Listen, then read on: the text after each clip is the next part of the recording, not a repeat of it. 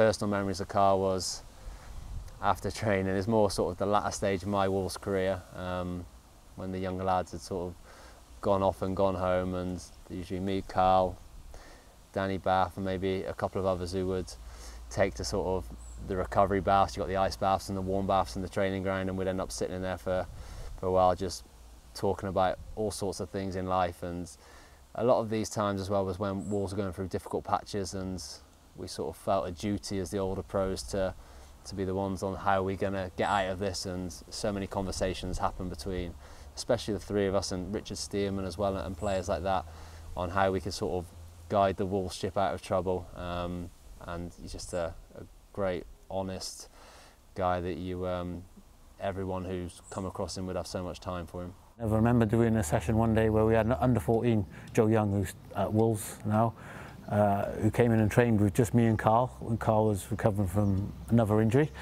Um, and Carl did the full hour and a half session with him, took part, served for him, sat him down afterwards, spoke to him, showed him around the, the training ground, changing rooms, everything. It was fantastic for Joe, but it was just a mark of sort of how good a professional Carl was. It's funny because like when he first came in, Carl, you saw him as I saw, saw him as a little bit as a younger brother. We're both half Nigerian. Um, you know, the amount of times that when he was younger, he'd get confused with me. As he started to play more games, I'd get confused with him. Um, you know, people would say, "Oh, he's, he, he was going, yeah, Carl Ikeme," and I got, "Nah, it's Matt Murray," and that, and people would have, you know, that sort of banter. I remember times when we used to go around the training ground, and uh, if anyone cheeked us, then, you know, David Davis could probably tell you a story about when we shaved his head because he was uh, very, very cheeky. So um, he'd done a few weights in the gym as a young lad, and DD was, you know, Digger was quite a strong lad, but kept pushing it, kept pushing it. So uh, me and Carl taught him a little lesson and shaved half his head, so he had to go home on the bus with half a head shaved. So he'll probably smile about that. There was one time when um, I think we were training. I think it was maybe like it was a light session, Sunday morning session. I think it was, um, and we, I think we were playing like a five-a-side game, two different teams. Um, and I just remember Leigh Griffiths turning around to Carl and, and sort of saying something a bit out of, out of turn to him. And all of a sudden, you just saw Carl stepping out his goal, and literally the gloves just dropped off his hands, and he was just he was just ready for Leigh. Obviously, Leigh's about this big, and um, I didn't don't think he fancied his chances to be honest. But um, yeah, that was that was Carl. So you've got the infamous tactics board, where at half time against um, I can't remember who it was. It might be Bristol City actually, where he's got a little bit aggressive.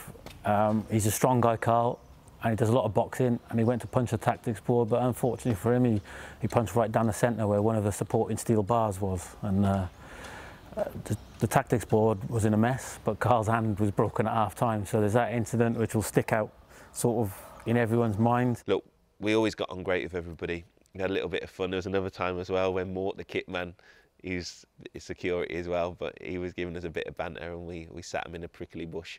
So uh, yeah, me and Keens, if we if we tag teamed you, you were uh, yeah you were in trouble. But look, we, we did loads and loads of good gym sessions together. We always trained well, pushed each other, and as I say, when I was when I when he first came, I sort of saw him as a, a bit like a like your younger brother, as I say, but really really good friends. But you know what? He always ruins me on Sky. Whenever I'm going to wear a blue suit on Sky, I think, I look through all my suits and think, not a blue one. Even though I've got four or five blue suits, it doesn't matter. Keem thinks I've only got one. So every time I do Sky and it's a blue suit, I know I'm going to turn on my WhatsApp, my phone, and there's a picture of me. Blue suit again, blue suit again. So look, Keem, I'm wearing all black today, geez. All right, so don't come for me.